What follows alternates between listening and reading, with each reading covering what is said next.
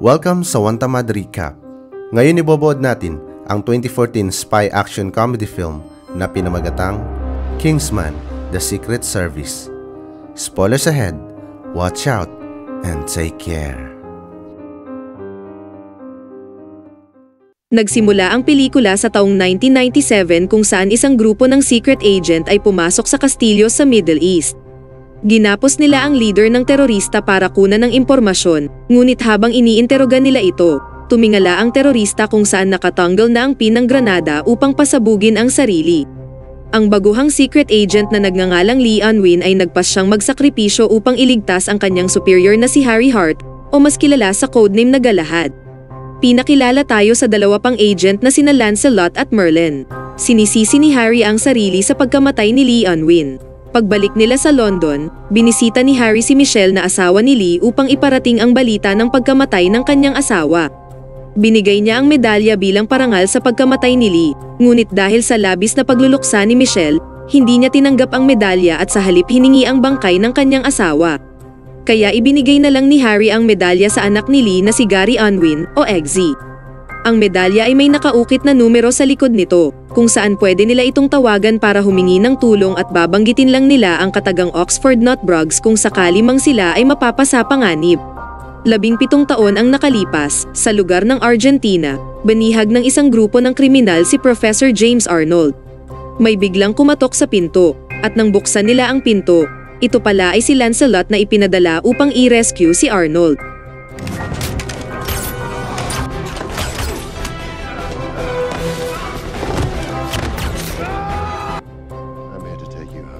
May isa pang kumatok sa pinto at nang lumapit si Lancelot,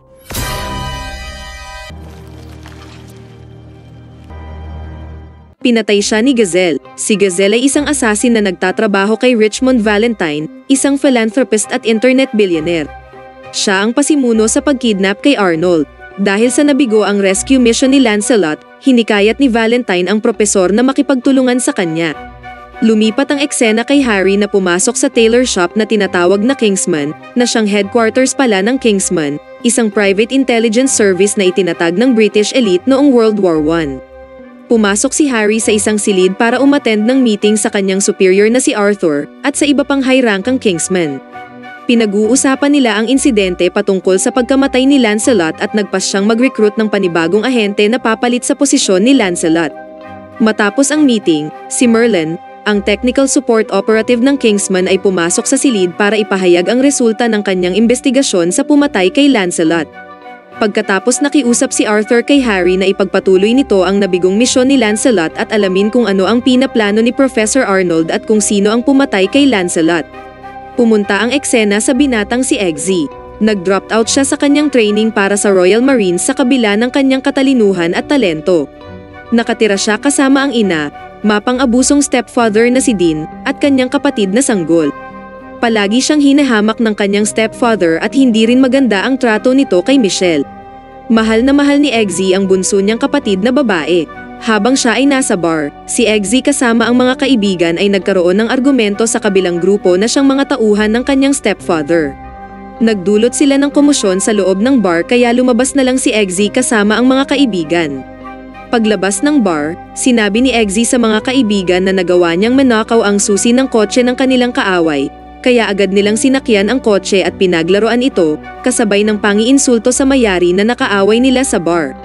Ngunit nakapukaw sa atensyon ng mga nagpapatrulyang pulis ang ginawa ni Eggsy dahilan para sila ay habulin ng mga pulis. Ginawa ni Eggsy ang lahat para takasan ang pulisya ngunit nang sila ay makorner, hinimok niya ang mga kaibigan na umalis na at siya na ang baalang humarap sa mga pulis. Si Eggsy ay agad dinala sa istasyon at binantaang makukulong sa loob ng 18 months. Dahil dito naalala ni Eggsy ang medalyang binigay sa kanya ni Harry noon at nagpas siyang tawagan ang numero nito at binanggit ang katagang Oxford Nutbrugs. Hindi nagtagal, dumating si Harry para i-absuelto si Eggsy. Pumunta sila sa bar at nagkaroon ng mataimtim na pag-uusap kung saan inilantad ni Harry na siya ay isang secret agent ng Kingsman at kasamahan niya ang ama ni Eggsy noon. Biglang dumating ang grupo ng mga tauhan ng stepfather ni Eggsy at pinaalis nila si Harry. Bukod pa dun sa pag-alis ni Harry ay ininsulto pa siya ng gang kaya ganito ang sumunod na nangyari.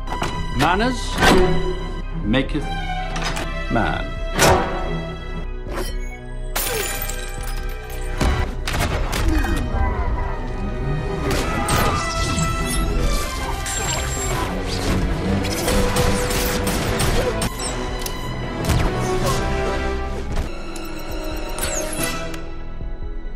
Pag-uwi ni Eggsy, si Dean, na nabalitaan ang away sa pagitan ng kanyang mga tauhan, ay inatake si Eggsy. Sinubukang umawat ni Michelle pero binantaan lang siya ni Dean hawak ang kutsilyo. Mabuti na lang naglagay ng tracking device si Harry kay Eggsy at nagsalita sa pamamagitan ng device na irereport niya daw si Dean sa pulis kung hindi nito pakakawalan si Eggsy. Ang nalilitong si Dean ay sumunod naman kaya nagmadaling umalis si Eggsy kung saan pinapunta siya ni Harry sa tailor shop na tinatawag na Kingsman. Pagdating doon, nagkita muli si Eggsy at Harry at pinaliwanag ni Harry ang ginagawa nilang recruitment para sa bagong miyembro ng Kingsman na papalit sa posisyon ni Agent Lancelot. Pagkatapos nagtungo silang dalawa sa headquarters ng Kingsman kung saan si Eggsy at iba pang candidate ay kailangang malagpasan ang bawat pagsubok na inihanda sa kanila ni Merlin. Nakilala ni Eggsy si Roxy, ang babaeng candidate na nirecruit din ng Kingsman agent, pati si Charlie, isang mayamang binata na madalas siyang maliitin. Kinagabihan, habang natutulog ang lahat, ito na pala ang una nilang pagsubok kung saan inilubog sila ni Merlin sa tubig, dahilan para mapilitan silang maghanap ng paraan na makalabas sa silid bago pa sila maubusan ng hininga. Sinubukang gamitin ng ibang candidate ang hose sa drain, ngunit si Eggsy ay mahusay na nadiskubre ang double-sided mirror sa silid at sinubukan niyang basagan ito. Dahil sa ginawa ni Eggsy, lahat sila ay nakapasa sa unang pagsubok. Matapos matanggap ang impormasyon mula kay Merlin na si Professor Arnold ay bumalik na sa trabaho na para bang walang nangyari matapos ang insidente ng pagkidnap sa kanya. Sinubukan siyang tanungin ni Harry kung sino ang pumatay kay Lancelot. Gayunpaman, habang ininteroga siya ni Harry, ang microchip na nakatanim sa leeg ni Arnold ay biglang sumabog na agarang ikinamatay nito. Ilang sandali lang, dalawang lalaki ang dumating at inatake si Harry bago tuluyang sumabog ang silid. Sa kabilang banda, sinimulan na ni Valentine ang masama niyang plano. Sinadya ni Valentine magtanim ng microchip kay Professor Arnold kung saan ang microchip na ito ay otomatikong sasabog kapag nakaramdam ng banta ang isang taong mayroon nito. Si Harry ay nasa ospital at kasalukuyang na comatose. Sa kabilang banda, si Eggsy at iba pang candidates ay sumabak sa panibagong pagsubok. Pero bago yun, sila ay inatasang pumili ng gusto nilang aso na aalagaan na kalaunan ay magiging partner nila sa pagsasagawa ng kanilang misyon. Samantala, makikita natin si Valentine na hinihikayat ang king ng Sweden na sumang-ayon sa kanyang plano para sa microchip implant. Pumayag naman ang hari pero salungat naman sa plano si Prinsesa Tilda, kaya napilitang atasan ni Valentine si Gazelle na ikulong si Princess Tilda. Samantala, si Harry, na nakarecover na mula sa kanyang injury, ay handa nang ipagpatuloy muli ang misyon. Binisita siya ni Eggsy at ipinagmalaki na nakapasa raw ito sa ilang mga pagsubok.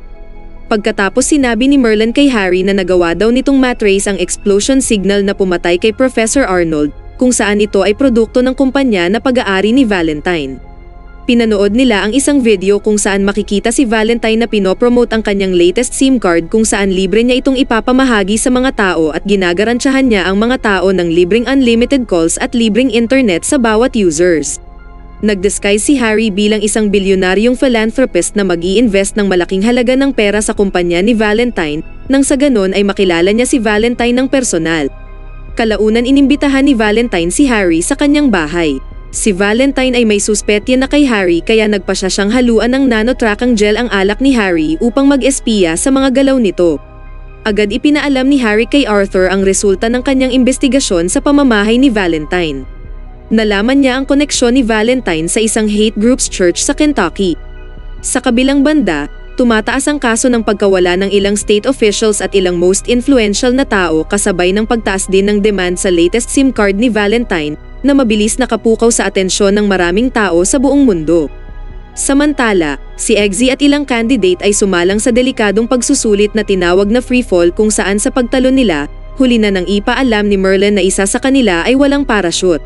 Dahil dito, nag-team up ang grupo para malaman kung sino sa kanila ang walang parachute, ngunit dahil sa takot, ang ilan ay maagang binuksan ang kanika nilang mga parachute hanggang sa huli, lumalabas na si Eggsy pala mismo ang walang parachute.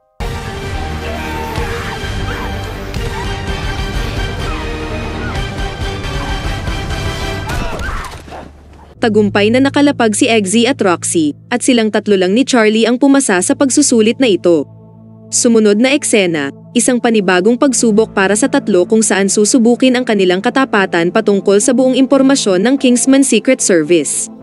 Sa pagsusulit na ito, Tanging si Eggsy at Roxy lang din ang pumasa dahil sa kabila ng banta ng kanilang buhay, hindi pa rin nila inilantad ang impormasyon patungkol sa Kingsman, habang si Charlie naman ay nabigo dahil mas mahalaga sa kanya ang kanyang buhay. Matapos nun, si Eggsy ay pinatawag ni Arthur sa kanyang silid habang si Roxy naman ay pinatawag ni Merlin. Lumalabas na ito na ang huling pagsusulit nila para sa bagong susunod na miyembro ng Kingsman at papalit sa posisyon ni Lancelot. Sa kasamaang palad, ang huling pagsubok ay napakahirap para kay Eggsy kung saan kailangan niyang patayin ang kanyang aso. Tulad ng inaasahan, si Eggsy ay nabigo sa huling pagsubok kaya si Roxy ang tinanghal na bagong miyembro ng Kingsman at dinala ang codename na Lancelot. Bumalik si Eggsy sa kanyang tahanan kasama ang aso nito at masayang sinalubong siya ng kanyang ina, ngunit agad siyang nagalit nang makita niya ang black eye ng kanyang ina na kagagawa ng stepfather niya. Dahil dito kinumpronte niya ang kanyang stepfather pero bago pa siya makagawa ng aksyon, kinontrol ni Harry ang sinasakyan niyang kotse papunta sa bahay nito. Dismayado siya sa pagkabigo ni Eggsy sa huling exam. Inihayag ni Harry na ang baril na pinagamit sa kanila para patayin ang aso ay walang bala. Sinusubok lang pala kung hanggang saan ang kanilang emosyon alang-alang sa maisakatuparan ang kanilang misyon. Hindi nagtagal, Nakatanggap ng balita si Harry mula kay Merlin, ipinapaalam na si Valentine ay susubukan ang kanyang produktong SIM card sa isang church congregation sa Kentucky. Agad nagmadali si Harry magtungo doon, at nagsuot siya ng salamin na may video transceiver. Nang malaman ni Valentine ang pagdating ni Harry, agad nitong inactivate ang SIM card, kung saan nag-trigger ito ng signal na nagdudulot sa mga tao sa simbahan pati kay Harry na mawalan ng kontrol sa sarili at maging bayolente.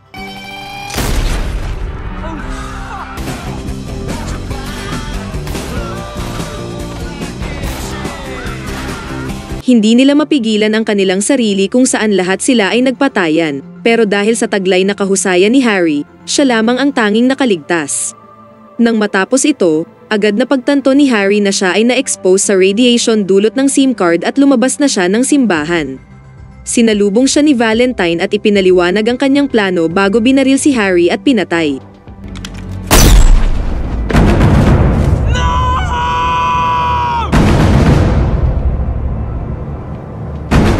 Sa labis na pagluluksa, nagmadaling nagtungo si Eggsy sa headquarters ng Kingsman para makipagkita kay Arthur. Gayunpaman, mabilis na napansin ni Eggsy si Arthur na siyang leader ng Kingsman na mayroong peklat sa leeg nito kagaya ng kay Professor Arnold, nagpapatunay na may nakatanim ding microchips kay Arthur. Dahil dito ibinunyag ni Arthur na nagawa pala siyang mahikayat sa pinaplano ni Valentine, kung saan plano pala ni Valentine lipulin ang lahat ng tao sa mundo sa pamamagitan ng SIM cards gaya ng nangyari sa simbahan. Ang tanging makakaligtas lamang ay yung mga taong tinaniman ni Valentine ng microchips. Pagkatapos sinubukan ni Arthur patayin si Eggsy sa pamamagitan ng poison drink, ngunit batid na pala ito ni Eggsy kanina pa kung saan matalino niyang pinagpalit ang kanilang inumin habang hindi nakatingin si Arthur, dahilan para malasan ni Arthur ang kanyang sarili. Matapos nun, kinuha ni Eggsy ang microchip mula kay Arthur at binigay ito kay Merlin para pag-aralin. Pagkatapos gumawa ng plano si Merlin, Roxy, at Eggsy para pigilan ang masamang plano ni Valentine. Inatasan ni Merlin si Roxy na wasakin nito ang satellite ni Valentine gamit ang high-altitude balloons habang si Merlin at Eggsy ay pinag-aaralan pa rin ang microchips nagawang makuha ni Merlin ang impormasyon patungkol sa microchips, kung saan may kakayahan itong ma-counteract ang radiation mula sa SIM cards, nang sa ganun hindi maaapektuhan ang mga taong mayroon nito. Gayunpaman, hindi rin ligtas ang microchips dahil pwede itong pasabugin ni Valentine anumang oras gaya ng ginawa niya kay Professor Arnold. Agad lumipad si na Merlin sa bunker ni Valentine, kung saan magdi-disguise si Eggsy bilang si Arthur upang tugunan ang imbitasyon ni Valentine nagawang isahan ni Eggsy ang gwardya at tagumpay na nakarating sa party venue. Gayunpaman, ang kanyang pagpapanggap ay hindi rin nagtagal nang i-expose ni Charlie ang kanyang pagkakakilanlan.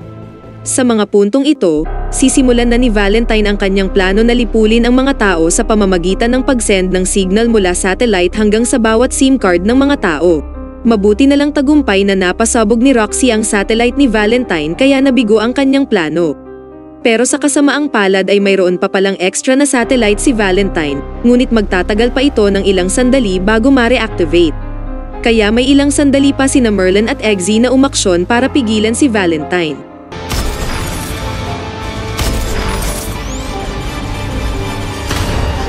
Nakaisip ng paraan si Eggsy kung saan inutusan niya si Merlin na ihak nito ang system ng microchip at pasabugin ang bawat tao na may nakatanim nito.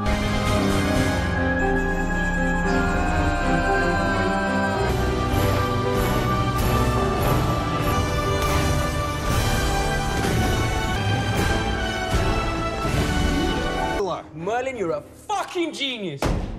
Ligtas na nakabalik si Roxy at agad nitong tinawagan si Michelle na ikulong ang kanyang anak sa bathroom at itapon ang susi sa loob ayon sa mungkahi ni Eggsy. Sa parehong sandali, inactivate na ni Valentine ang signal na nag-trigger ng malawakang pandemonium riot sa bawat tao sa buong mundo.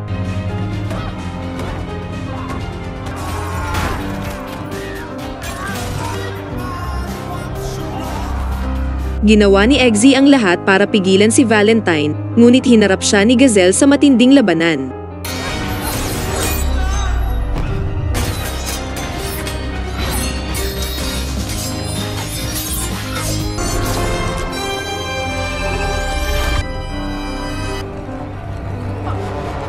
Pagkatapos pinatay ni Eggsy si Valentine sa pamamagitan ng prosthetic blade ni Gazelle. Dahil dito, nahinto ang pandemonium sa buong mundo. Matapos nun, bago lisanin ang lugar, nakipagtalik muna si Eggsy kay Tilda, ang Crown Princess ng Sweden. Sa pagtatapos ng pelikula, si Eggsy, na ngayon ay may codename na Galahad bilang kapalit ni Harry, ay binisita ang kanyang ina at nagmungkahi na titira na sila sa bagong mansyon ng masaya. Nang marinig ito, sobrang nagalit ang stepfather niyang si Dean at gustong bugbugin si Eggsy. Manners maketh man. Then shove your manners up your fuck.